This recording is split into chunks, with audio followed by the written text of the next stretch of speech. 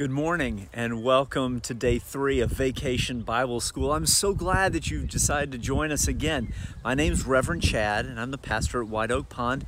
And today we're going to talk about worship.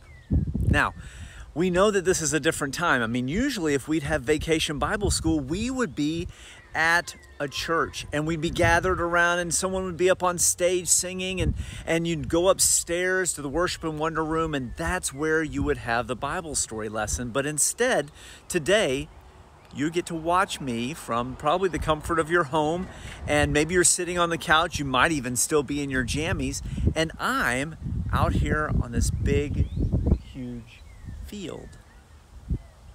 So we know that things are different and in fact, it might be that you worship a little different now.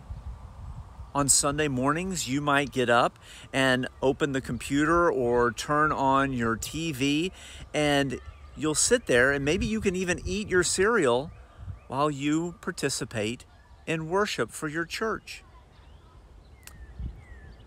What do you like about church? Do you like it? In a different way now that we're doing it slightly different? What are the things that are meaningful to you in worship? And do you miss being back in that special sanctuary? What are the things that you appreciate that mean something to you about worship? Because worship, at its very basis, is about us sharing with God how much God means to us. We talk about it in there. We sing praises about God's creation and about how wonderful it is. We share about the meaningful experiences that we have in our lives that connect us with God. And we spend time praying. And prayer is just sharing what is inside of our hearts and inside of our minds with God. It's like talking to a really good friend.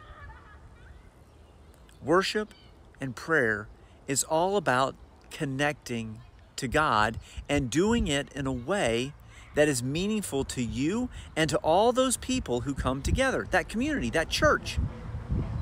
Our story today is one that might challenge us a little bit.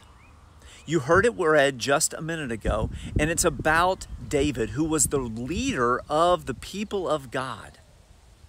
Now, it happens, what's really interesting is this story happens right after this huge, enormous battle that happened on a big field, very much like this.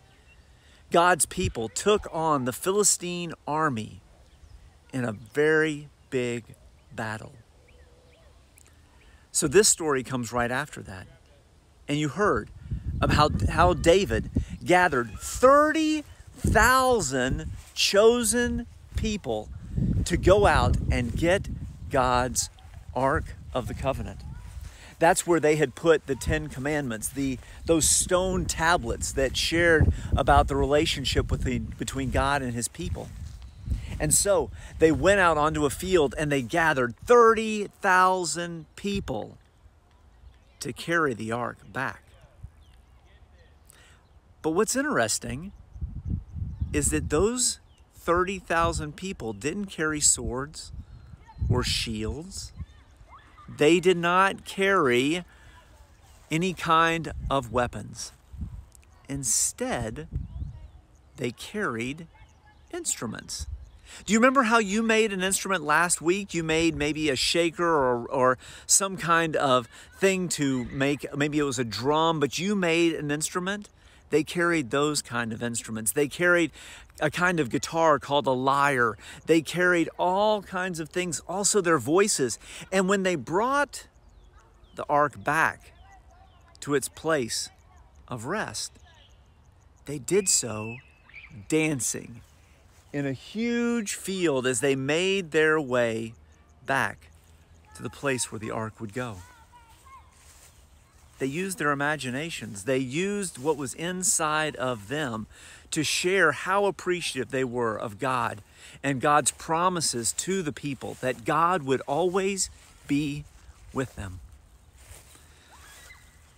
This week, I would like for you to think a little bit about what's meaningful to you about God. How do you share what's on the inside of your heart? How you feel about God in this world? For David and for those 30,000 people, it was all about dancing and singing and sharing about how joyful they were to have God in their lives. It's going to be a great day at Vacation Bible School. I'm so glad you're back. And I can't wait to hear about the creative things that you figure out today about how you share your relationship with God. Have a terrific day.